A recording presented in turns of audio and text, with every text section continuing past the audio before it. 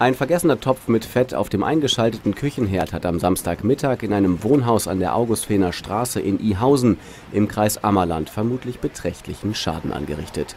Dichter Qualm drang aus den Fenstern und Türen des Erdgeschosses, als die Feuerwehren aus Hollriede und Westerstede am Einsatzort eintrafen.